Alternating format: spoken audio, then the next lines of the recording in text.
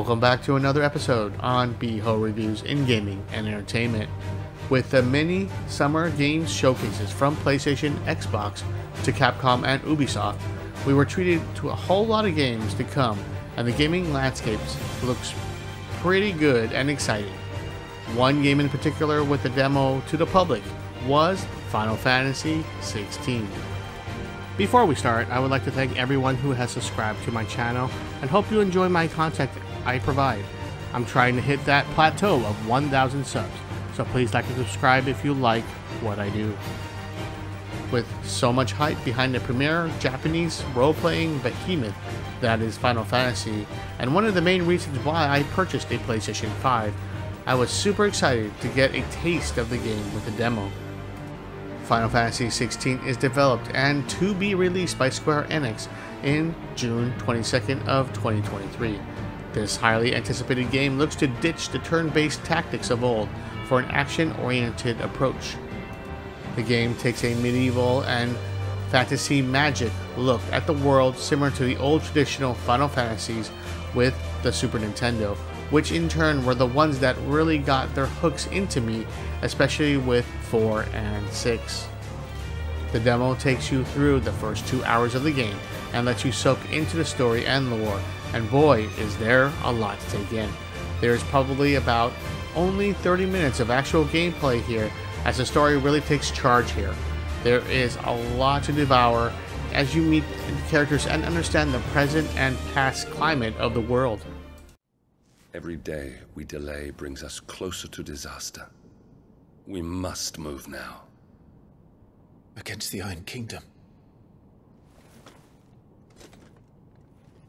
We have traded blows with them for too long. It is time to end it.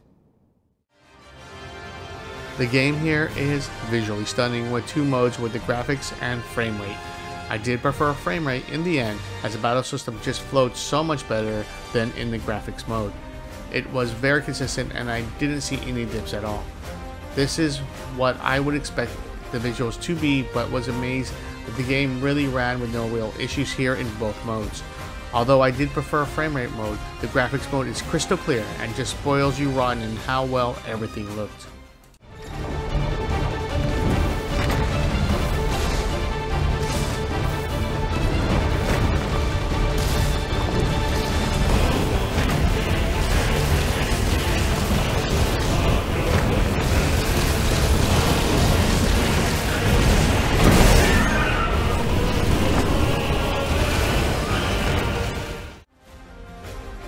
The voice acting was done so well that I preferred the English actors well over the Japanese voices as it just meshed a lot better.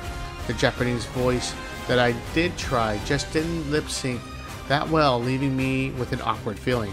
Nothing wrong with the emotions here, just a little off where the English voices seemed more on cue and was very well acted.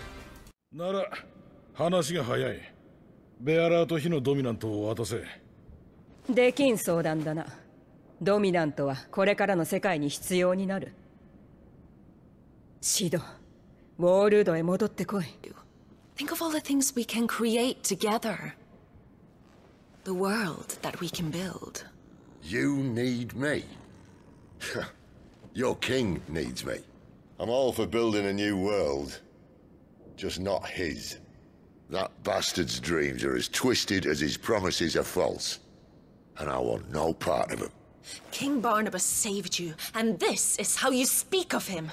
Have you no shred of loyalty? The gameplay here is where the game really stole the show for me. After you do complete the story mode, you're given about an hour-long mission where you all you do is test out the battle mode. The story was a nice little intro to the battle system, but the extra mission really allows you to let loose with more special abilities coded in red, green, and yellow, where you can constantly switch back and forth as you pummel your opponent. Very swift and responsive a la the frame rate mode, the game is simply a gem to play as you master the fights.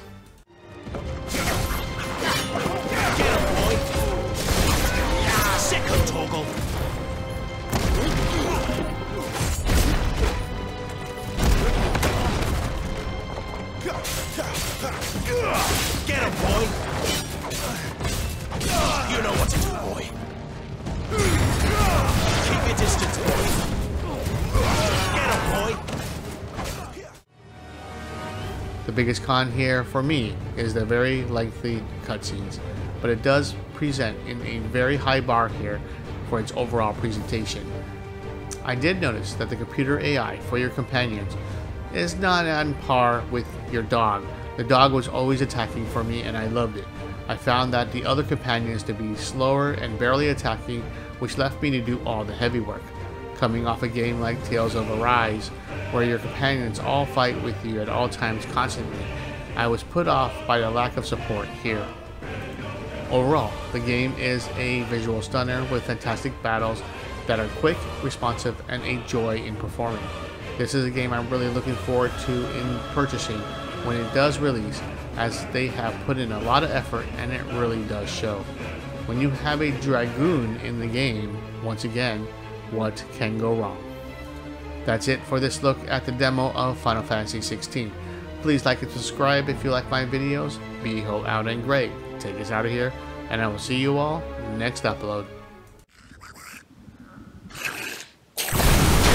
What's in there?